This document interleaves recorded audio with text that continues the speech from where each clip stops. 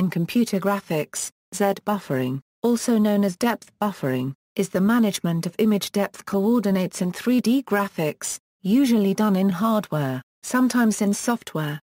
It is one solution to the visibility problem, which is the problem of deciding which elements of a rendered scene are visible, and which are hidden. The painter's algorithm is another common solution which, though less efficient, can also handle non-opaque scene elements. When an object is rendered, the depth of a generated pixel is stored in a buffer. This buffer is usually arranged as a two-dimensional array with one element for each screen pixel. If another object of the scene must be rendered in the same pixel, the method compares the two depths and overrides the current pixel if the object is closer to the observer. The chosen depth is then saved to the Z buffer, replacing the old one. In the end, the Z-buffer will allow the method to correctly reproduce the usual depth perception, a close object hides a farther one. This is called Z-culling.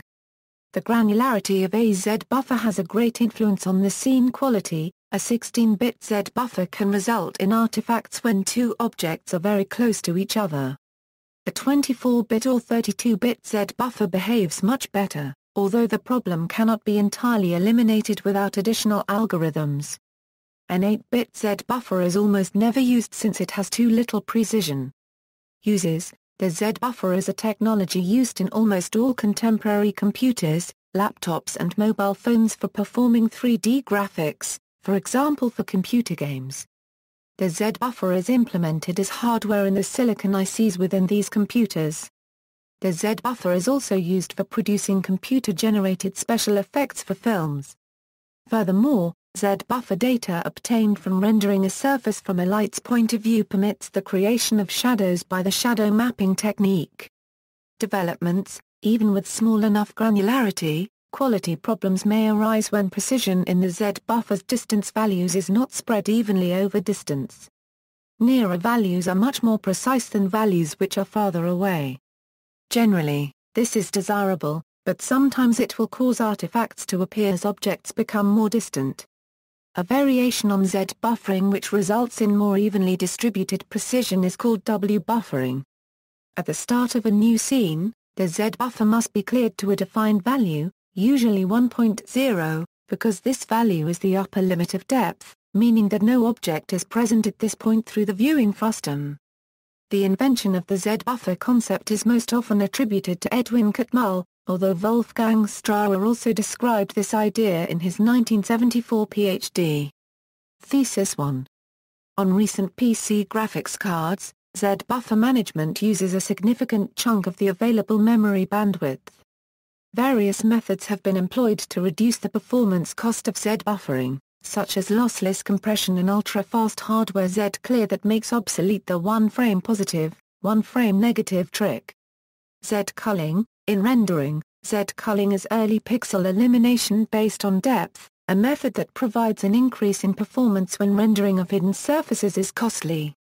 It is a direct consequence of Z-buffering, where the depth of each pixel candidate is compared to the depth of existing geometry behind which it might be hidden. When using a Z-buffer, a pixel can be culled as soon as its depth is known, which makes it possible to skip the entire process of lighting and texturing a pixel that would not be visible anyway. Also, time-consuming pixel shaders will generally not be executed for the culled pixels. This makes Z-culling a good optimization candidate in situations where fill rate, lighting, texturing or pixel shaders are the main bottlenecks.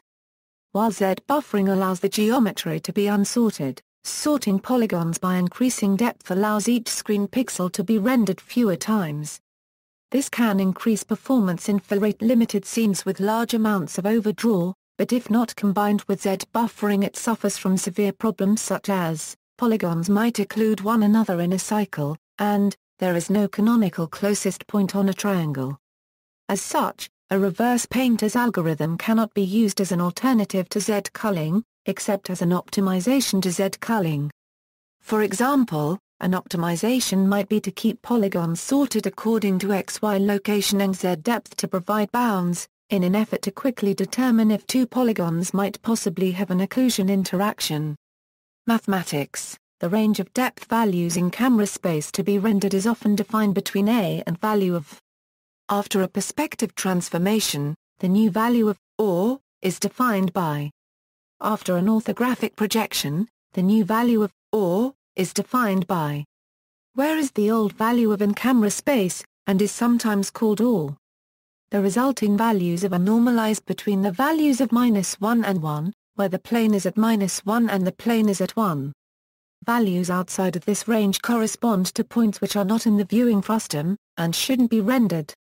Equals fixed point representation equals, typically, these values are stored in the Z buffer of the hardware graphics accelerator in fixed point format. First they are normalized to a more common range which is 0, 1, by substituting the appropriate conversion into the previous formula. Second, the above formula is multiplied by where d is the depth of the Z buffer and rounding the result to an integer. This formula can be inverted and derived in order to calculate the Z buffer resolution. The inverse of the above. Where, the Z buffer resolution in terms of camera space would be the incremental value resulted from the smallest change in the integer stored in the Z buffer, which is plus 1 or minus 1. Therefore this resolution can be calculated from the derivative of as a function of expressing it back in camera space terms, by substituting by the above. This shows that the values of are grouped much more densely near the plane, and much more sparsely farther away, resulting in better precision closer to the camera. The smaller the ratio is, the less precision there is far are Euro having the plane set too closely is a common cause of undesirable rendering artifacts in more distant objects. To implement a Z buffer, the values of are linearly interpolated across screen space between the vertices of the current polygon, and these intermediate values are generally stored in the Z buffer in fixed point format. Equals W buffer equals, to implement a W buffer, the old values of in-camera space, or, are stored in the buffer, generally in floating point format. However, these values cannot be linearly interpolated across screen space from the vertices so euro they usually have to be inverted, interpolated, and then inverted again. The resulting values of, as opposed to, are spaced evenly between and. There are implementations of the W buffer that avoid the inversions altogether, whether a Z buffer or W buffer results in a better image depends on the application.